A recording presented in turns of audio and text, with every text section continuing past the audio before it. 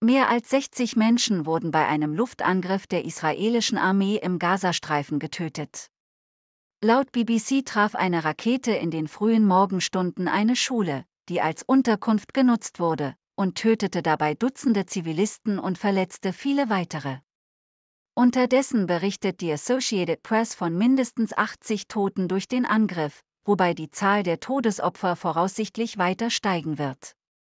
Dies könnte als einer der tödlichsten Angriffe im zehnmonatigen Krieg zwischen Israel und der Hamas gelten.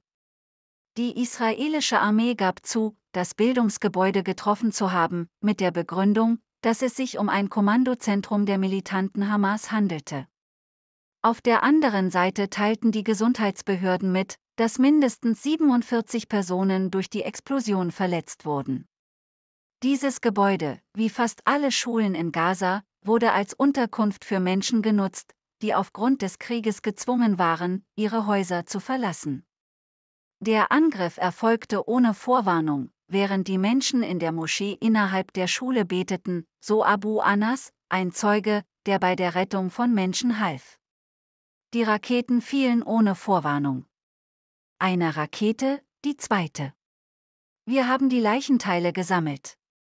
Nach vorläufigen Angaben befanden sich etwa 6000 Menschen in dem Gebäude, die dort Schutz suchten.